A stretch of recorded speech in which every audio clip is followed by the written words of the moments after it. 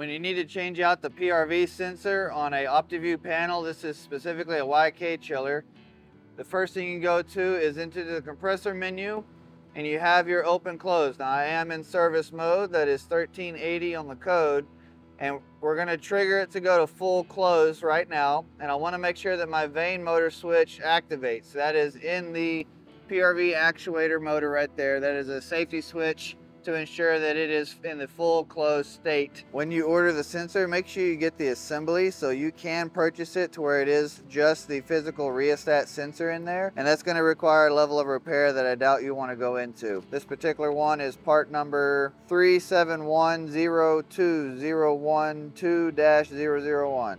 To do this, there's two bolts in the bracket that mount to the housing. You can take those two bolts out and then there's just an Allen on a flexible uh, flange that connects the sensor to the end of the PRV shaft. This whole assembly is just gonna slide straight off. So one of the first things you should do is go ahead and plug the sensor in and you're gonna see my two marks. Zero and 100 is not maxed out either way. It's a middle point in between the two endpoints. In our particular case, we're gonna then dial this back to what is our zero position. So now that we know what our true zero is, we'll put that in on the PRV shaft at true zero. Why you would need to do something like this to begin with goes back to that sensor can get out of calibration, those rheostats, the little mechanical contact inside can wear down and it won't read properly and register. So in this particular case, this machine wouldn't stage up because it wouldn't read high enough.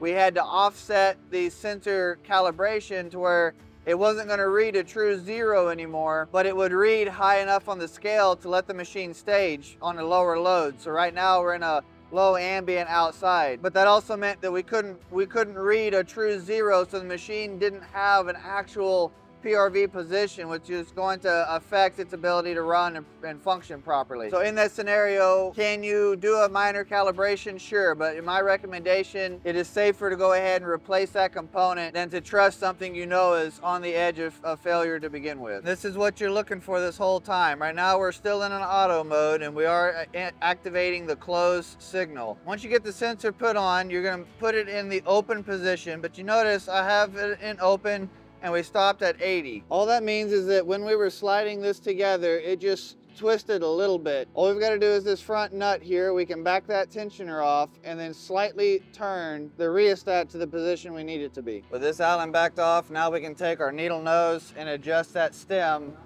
to make it read the full 100 position and then we can lock it down and test it for zero and make sure it goes back to a full zero state. Our next step's gonna be go to full close. Right about the time we're hitting 0% here, we should be closing our vane motor switch up here. So our vane motor switch is closed. We show, show 2%. So we're very, very close. We're just slightly off. So we'll back it off one more time make one extremely minor adjustment, and then we will retest for 100% and then back to close again and verify that we are actually in the true range. So we found our midpoint. We're doing good. We're, we're bouncing between that 99 and 100 at the top end. We're getting down to zero.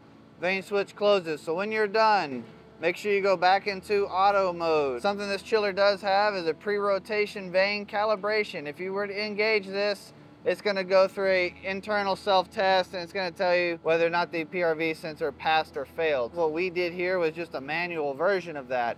Once all of this is done, you can just go back to the home screen. If you need to log out, don't forget to do so and turn the chiller back into an on state. That was one of the things I didn't mention up front. You do want to make sure the chiller is in an off position to where it's not going to allow it to run.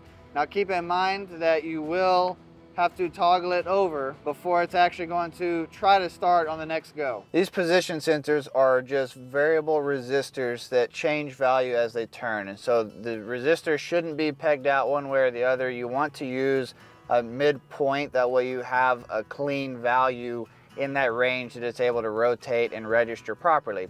So with that being said, that's all that the control system on this machine is doing is just monitoring that resistance value and then feeding that back as a set percentage. The little small mechanical contacts on these sensors do wear out over time, so they will lose their ability to change and vary resistance like they're supposed to, especially for the points of the, of the resistor that commonly make contact. So those points in particular will get heavier wear and they won't register correctly. I hope you enjoyed this video. Hope it helps you out and it got you past whatever you're dealing with right now. If you need any further help or assistance, feel free to visit my website and get tech support or any other training or anything that you need, consultation and so forth.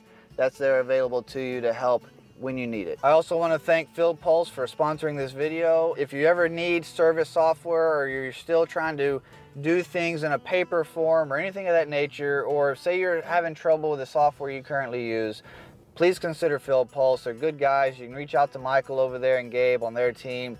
They'll get you fixed up and taken care of. I got a link in the description. They're a great all-around service tool that's automated and will help you as a business, as a manager, better track and focus and keep your team moving forward so that it's less physical work your team has to do and you can spend more time taking care of what really matters, meaning your customers.